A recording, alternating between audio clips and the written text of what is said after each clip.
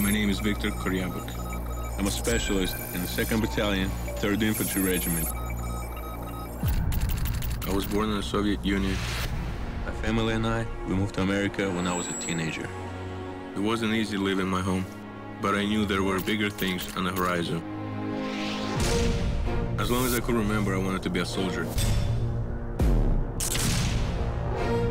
Today I'm a Stryker driver in the United States Army.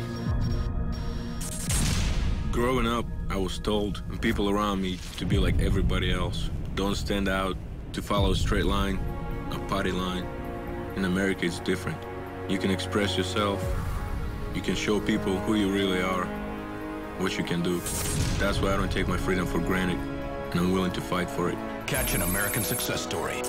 See what's next for Victor at GoArmy.